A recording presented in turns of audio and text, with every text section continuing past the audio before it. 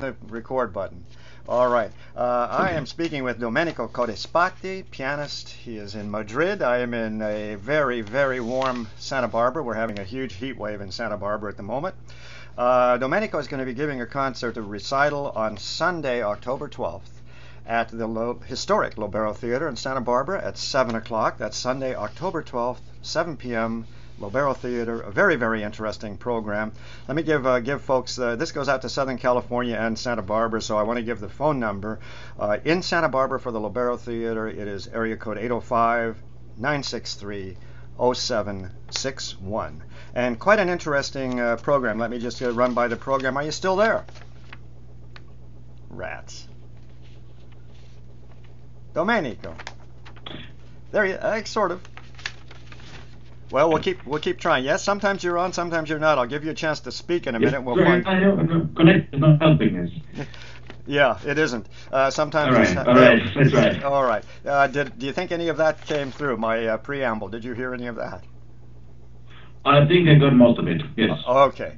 Uh, let me just run by the program. It's a, it's a very interesting program. And again, uh, you know, these connections with Skype are on again, off again. We'll try and be uh, quick. It's a miracle. It's a miracle that we're seeing each other clear across uh, at least one major ocean. Actually, actually, it is. let alone the continental United States. Uh, Domenico is, again is in Madrid. I'm in Santa Barbara. Here, here's the program coming up on Sunday, October 12th. Uh, Chopin, two nocturnes. Rachmaninoff from the Etude Tableau, numbers 1, 2, 3, 8, and 5. Very, very nice. And Federico Mompou, the Spaniard, uh, three Impresiones Intimas uh, will be performed. I love Mompou's work. And then the amazing B minor sonata of Liszt after intermission, I hope. Yes. and uh, I think it's going to be. please go ahead. Mompou will be. No, no, no, I was just saying that will precede that. So intermission is uh, so there's a little candy before the Liszt on the second half. exactly. exactly.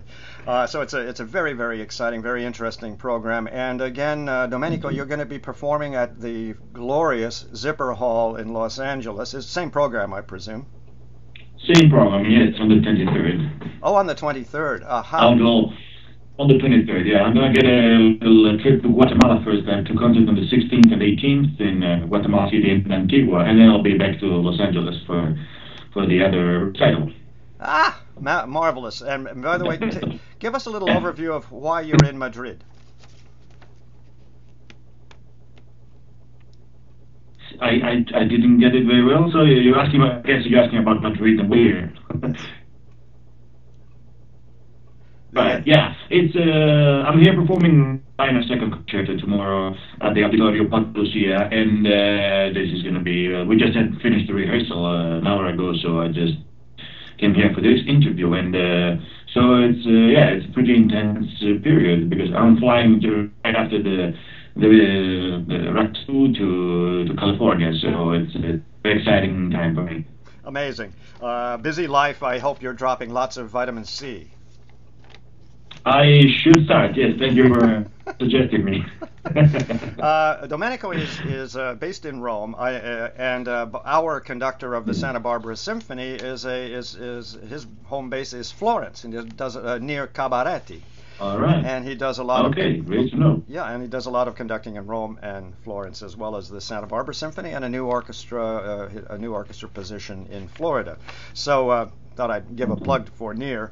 Um, what I, what I'm curious about is when you began piano study. I know it's a cliche, but what what what Of drove drove you to that uh, decision, and how young were you? I was six when I sat on the piano for the first time, and actually it was not my decision because uh, back then I was thinking just about uh, soccer. but uh, it was my father actually who had a dream of his first son being a piano a pianist, a classical pianist. Uh, it was kind of an obsession he got to a certain time. I remember my mom saying that he wanted to buy a piano before I was born either, and she said, "Well, let's just wait a little bit before before you do that." So. Yeah, I guess uh, I started my lessons at six, and then I started. Uh, everything came after that.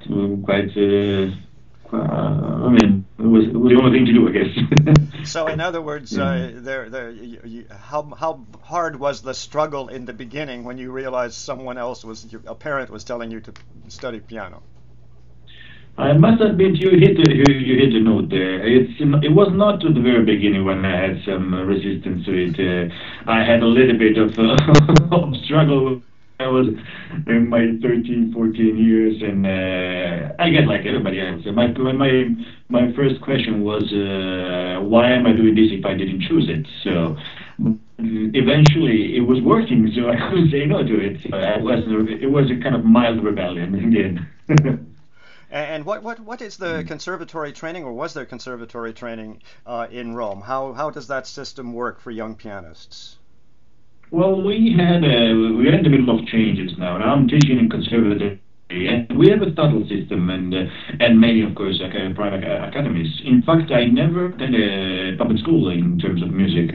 I was first uh, with a local teacher in my hometown, Catanzaro, and then uh, when I was 10, my father started driving me uh, 700 kilometers away every month to a teacher that we met in a competition I won. And so I was kind of excited about, uh, I need to know uh, what's the best thing to do for you. So, so he started driving me every month since my, uh, since I was 10 and this was in Pescara, and that was uh, the private academy, Accademia Musicale Pescarese, and I did that for 30 years. Of course, he quit driving me, then I started to go on my own, but still, it was uh, that was my starting experience, and this was before actually I. I went for some summer class in, uh, in, in Italy, actually in Siena, in the Accademia Chigiana in Siena, and there I met Joaquin the Spanish pianist who teaches in Dallas.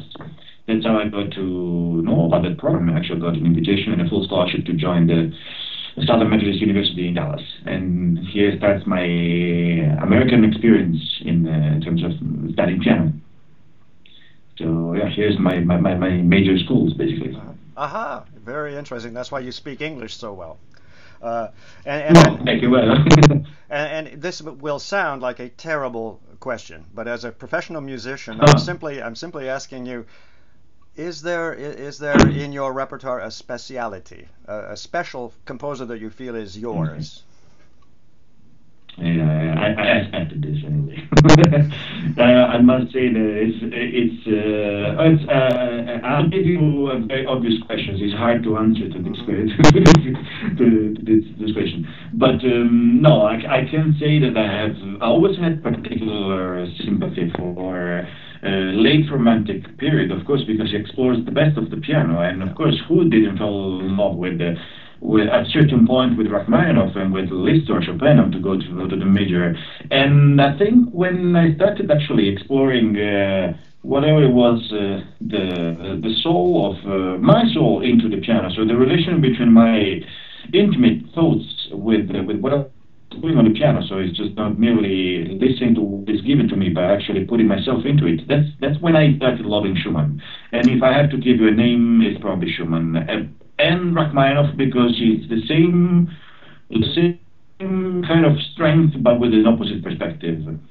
So whether it's more, yeah, the pathos in Rachmaninoff is more out, and Schumann is more uh, intimate. But I would talk about the same sort of uh, passionality, the same sort of uh, emotivity in, in that music. And I would just say that Rachmaninoff is probably well beyond the, the aura of uh, cheap late piano, romantic piano that has been given in recent times, especially in Europe a little bit. Now it's probably in a better uh, position in that sense. So, but yes, these two names are probably what come come to my mind first. Well, well, I find it very interesting, and it's why I asked when you announced that you were playing Rock, Rachmaninoff Number Two Concerto with, yeah. with the orchestra in Madrid. Uh, that was there, and I'm I'm also very interested in your response about Schumann, Robert Schumann, the as, as, his piano compositions, the intimacy of his his uh, compositional manner. I'm looking at his letters and Clara's yes. letters and Brahms and so on. Very very interesting. So are you a uh, are you a recitalist, concertoist? To how where, where do you uh, uh tab yourself? That's another no, dumb question. Uh, I do, yeah, yeah, of course. No, but it's, it's stimulating uh, thoughts as well. And I think music is everywhere, first of all. It's in, and you, you didn't mention chamber music, which just recently has become uh, a strong part of my repertoire. I'm enjoying a lot of trios and duos. Well, I always did, but this particular time, we just recorded Naxos, the Martucci trios, and we're going to do for Claves. Uh, recording later next year, the Huber trios. So it's interesting, but also for the is is this an ensemble you play with? Is this an ensemble? This, this, and uh, being a recitalist, I think what I can say, you probably go. Yes, trio, trio with the Spanish trio. Uh-huh. The violin is Swiss and the, the cellist is Spanish, so it's kind of mixed up uh, trio. But the, the bass was in Granada, so that's why we we call it the Spanish tree. Uh-huh.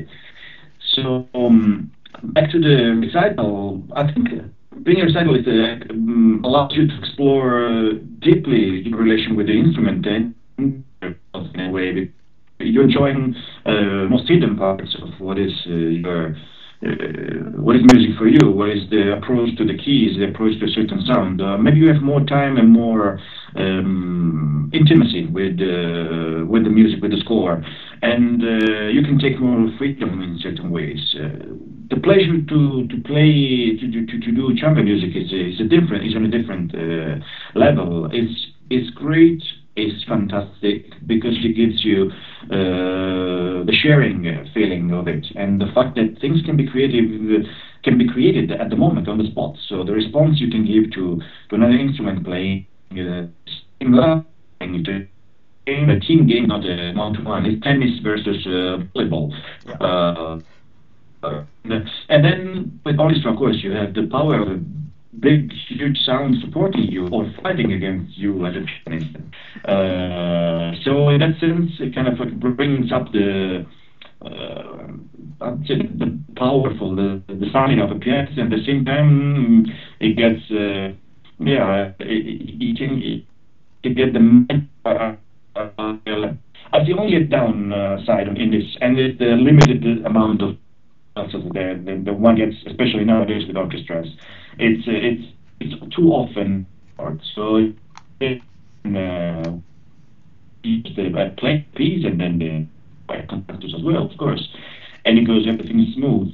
I think, and with this, I'm together with uh, Grigory Sokolov opinion. He quit playing with orchestras because he didn't have enough time to to make something special out of it. So instead of giving a standard performance um, for the limited time you want to give, he he wanted to have more time to to yeah to, to speak about his ideas for the, the precise piece and to give a more personal view of that piece. I think we are missing a little bit this because we, we travel at light speed nowadays. So and uh, the market has to, to go with that.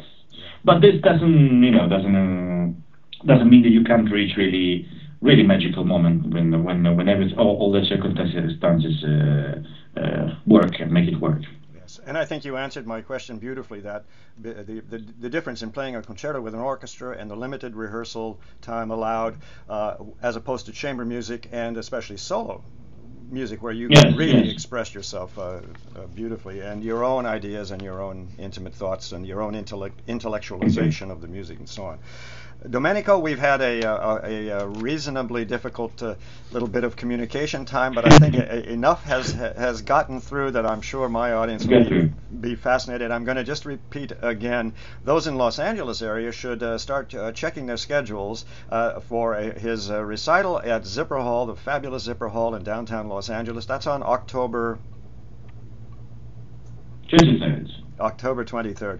Meanwhile, in Santa Barbara, in the historic, rather intimate, it's a little dry, but, but rather intimate Lobero Theater uh, in Santa Barbara, Domenico Codispoti's recital, piano recital, Sunday, October 12th. That's next weekend, 7 p.m. at the Lobero Theater in downtown Santa Barbara. Tickets uh, call the box office, area code 805 in Santa Barbara 963-0761, a program of Chopin nocturnes, Rachmaninoff, three, uh, several of the Etude Tableau, uh, Federico Mompou, three pieces from his Impressiona, Impressionales Intimas. I hope I did justice there. And then to uh, top off an amazing uh, Sunday evening, the Liszt, the B minor sonata. I'm looking forward to seeing you uh, then, I hope Thank you very, very much Thank indeed, you. Thank you very Domenico. much. Righto. See you then. Bye bye. Thank you. See you. Bye.